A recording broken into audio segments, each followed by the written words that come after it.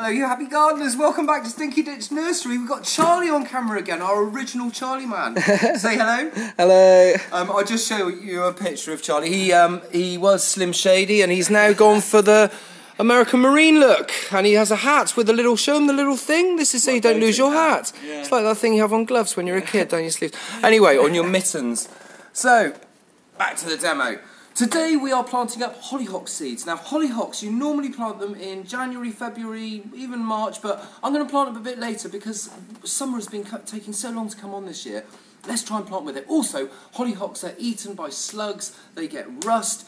If you don't use um, things to get rid of that and things to get rid of the slugs like I don't, you just have to grow loads of them. Grow loads and loads of them and some of them will survive. So anyway, to do this we need a plastic pot, recycle everything. I'm going to put some holes in the bottom of that. Some compost. Our compost wants to be a nice gritty, yeah that's it, show Charlie.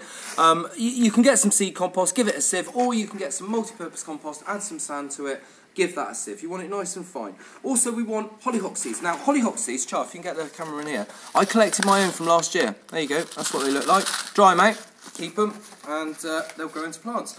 Now, hollyhock seeds like to have a 12-hour soak before you plant them out, if they're dry like this. So you pop them in some water, bit of warm water, not too hot, a little bit of warm water in the morning, or you do it in the evening if you're going to pot up in the evening or however you're going to do it.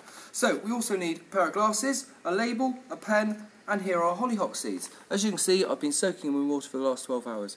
Right then, our pot from the supermarket. We want some drainage in this, so we give it a good stabbing all over so that the water can drain out of that. And then we fill it with our seed compost, like that. Give it a up to that sort of level like that. Flatten him off a bit, give him a bit of a press down, and then Charlie, if you follow this onto the floor, we are now going to give it a bit of a soak. So get a bit of water in there.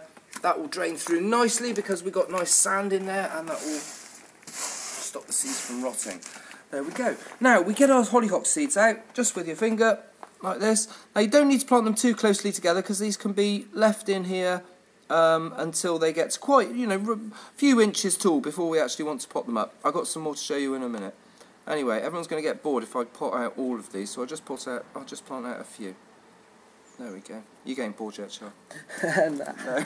Right, so pot those on, and then we give them a bit of a fine coating, sort of quarter of an inch, five millimetres, that sort of thing that we want to put over the top of that, like that. And then we stick our label in, and there we go. Leave that for about two weeks to germinate. Um, they, they like light to germinate. That's why I put a very thin coating on here, and it's a very gritty mix. So I'm hoping that the, the light will get through to that, and we'll have a nice good germination rate. After a couple of weeks, they will germinate, and they'll turn into things like this. There we go. There's some there that I planted on the 21st of the 2nd this year. As you can see, little things are already trying to nibble them. I'll do another, another little post and show you how to pop those up. Um, and um, there we go. This has been Robbie Phoenix and Charlie on camera down at Stinky Ditch Nursery. If you don't want to grow any of this stuff and you just want to buy it, come and visit us at www.stinkyditchnursery.co.uk. Thanks for watching.